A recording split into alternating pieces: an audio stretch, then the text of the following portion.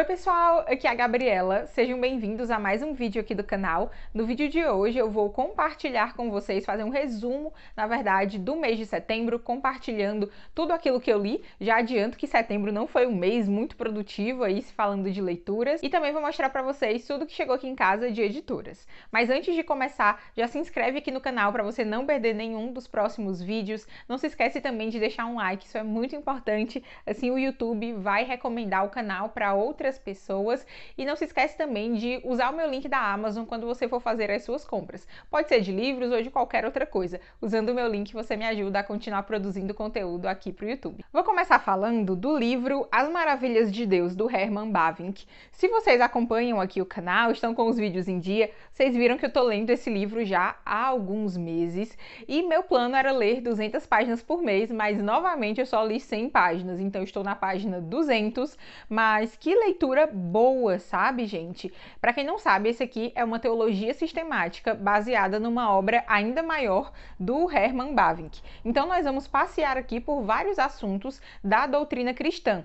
Nessas 100 páginas que eu li durante esse mês, ele focou principalmente na revelação geral, revelação especial, e depois ele vai afunilando ali para a própria escritura, né? Ele vai começar a lidar com a própria escritura, falar de inspiração, de canonicidade, ele vai falar do testemunho das escrituras. Então, é muito interessante mesmo. Inclusive, já fica a dica para você que tem dúvidas, né, sobre essa questão de formação do cânon, quais livros entraram, quais livros foram deixado, deixados de lado quando a gente fala de escritura, e ele também fala da questão das confissões. Se a gente tem a Bíblia, por que, que a gente usa credos? Por que, que a gente usa confissões? Aí ele diz que esses documentos né, da igreja que a gente tem, pegando aí o mais antigo deles, que é o Credo dos Apóstolos, e aí tem muitas igrejas que têm suas próprias confissões de fé, ele diz que essas confissões, elas não vão contra a escritura, muito pelo contrário, ela protege a escritura de mentes aí mal intencionadas. Então, bem interessante mesmo. Estou lendo bem aos poucos, estou lendo muito menos do que eu queria, mas como eu disse, setembro foi um mês que eu rendi muito pouco, principalmente porque minha mãe estava aqui ah, em casa, né? Então ela veio me visitar. Ela é do Ceará, né? De onde eu era, onde eu morava, e ela veio me visitar aqui, então eu dediquei a maior parte do meu tempo a ficar com a minha mãe. Não me arrependo e agora no mês de outubro vou correr atrás das coisas que eu não li. Agora um livro que eu finalizei mesmo esse mês foi o Harry Potter e a Câmara Secreta. Gente, que leitura prazerosa. Uh, vou seguir aí lendo o Harry Potter, né? Os livros são todos no Kindle Unlimited. Inclusive, se você quiser assinar o Kindle Unlimited, vou deixar o link aqui embaixo também. Vale muito a pena porque tem muitas séries de livros lá. Então você pega aí, assina por um mês ler dois, três livros, né? Principalmente desses aqui, eu amo ler esse tipo de ficção uh, no Kindle, porque não é um livro que eu vou marcar super, é mais um livro de entretenimento mesmo. E aí, gente, gostei bastante da Câmara Secreta. Eu vi alguns furos, né? Mas me disseram que tem mesmo alguns furos aqui no, no roteiro, né? Na escrita mesmo do livro, e me disseram também que só melhora. Então, tô bem empolgada para continuar lendo Harry Potter. O próximo livro que eu li foi, junto com o pessoal lá do Review Club, foi esse aqui, Pregação Doutrinária, Privilégio, Promessa, Poder e Perigo comigo. Aqui nós temos uma espécie de linha do tempo uh, em que o autor começa ali com Jonathan Edwards e termina com Joel Osteen, né, que é um dos grandes nomes da teologia da prosperidade. E a ideia do autor é dizer que uma pregação, uma boa pregação, precisa ser necessariamente doutrinária. Então, sabe aquela divisão que a gente faz de, ah, não, esse aqui tem poder de Deus e aquele ali tem doutrina, ou esse aqui tem doutrina e aquele ali tem mais sabedoria? Ele diz que não existe isso, que as nossas pregações precisam conter doutrina, precisam ir para a Bíblia e extrair dali um sistema de doutrinas. É bem interessante porque ele é historiador, então tem essa pegada de linha do tempo mesmo, mas, a meu ver, tem algumas partes aqui que o autor tece críticas, por exemplo, a Billy Graham, que eu entendo, uh, também não sou uma super conhecedora aí da teologia, das pregações do Billy Graham, mas a meu ver, o autor é tipo assim, ah, eu discordo desse pregador aqui e por isso eu vou dizer que toda a pregação dele era ruim. Então, eu acho que ele foi duro aqui em algumas críticas, né? Mas, como eu disse, nas críticas que ele apontou, eu não sou uma grande conhecedora do objeto da crítica, mas uh, é um bom livro se você é bem interessado nessa parte de história da pregação. E aí, mais um livro que eu li, na verdade eu tô finalizando, eu tô bem no finalzinho, devo terminar hoje ou amanhã, é o maravilhoso Hábitos Espirituais, Prazer em Jesus pela Graça Diária. Esse livro aqui foi lançado pela editora Fiel, eles lançaram as versões é, em áudio e versão digital também gratuitas, então fica aí a dica, vou deixar o link aqui para você ir lá e baixar gratuitamente. Temos também a versão física. Esse livro fala sobre os meios de graça, principalmente ali sobre a leitura da palavra, a oração e a comunhão com os irmãos. Gente, esse livro é um abraço, é um encorajamento para você não é nem só perseverar nos meios de graça, na verdade é usufruir, desfrutar plenamente dos meios de graça, porque a leitura bíblica, a oração, a comunhão, muitas vezes a gente leva isso como um peso, como mais uma coisa que a gente tem que marcar no nosso checklist, quando na verdade são meios de graça, ferramentas que Deus nos dá para a gente ter mais graça, né, para a gente crescer no Senhor.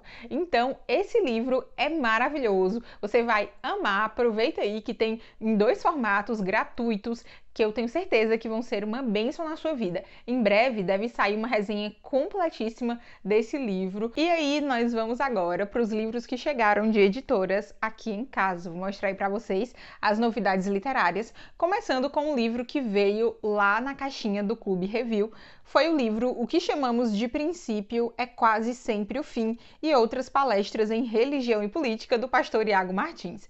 Esse livro aqui é um compilado, como o próprio subtítulo diz, de palestras palestras que o Iago deu não em igrejas, mas em espaços públicos, né? Então tem aqui palestras que ele deu em universidades, em grupos de estudos, uh, em eventos. Então tá bem interessante porque aqui a gente vê um teólogo atuando de maneira pública, né? As palestras que eu já li, porque eu comecei a ler, né? A gente já começou a ler com o pessoal do review. Eu li duas das palestras. Uma foi sobre a, a validade da religião, né? Sobre essa questão de todos nós sermos religiosos.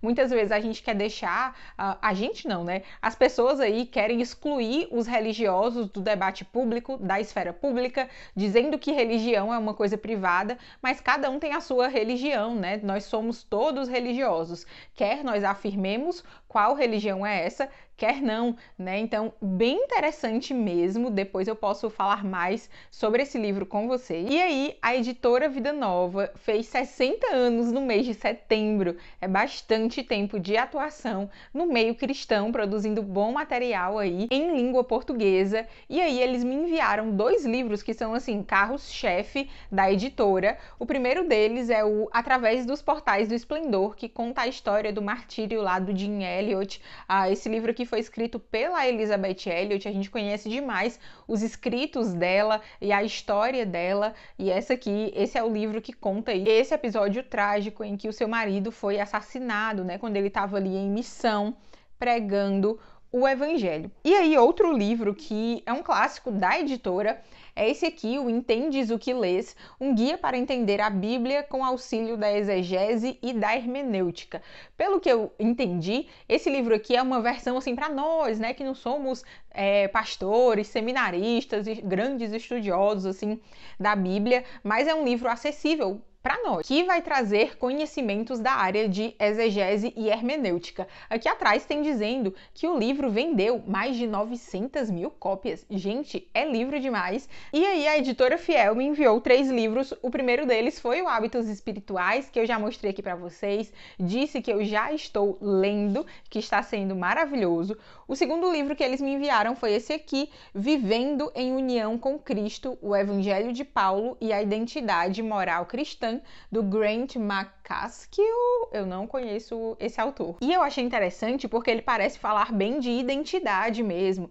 Aqui tem dizendo assim: quem realmente sou? A maneira como pensamos sobre a moralidade cristã muitas vezes funciona sem qualquer referência a Cristo. Então, ele une, né, essa ideia da nossa união com Cristo e da nossa identidade. Eu achei um assunto bem interessante. E aí, por fim, mas não menos importante, a editora Fiel também me enviou um clássico, um clássico da literatura cristã, que é o Santidade do J.C. Ryle.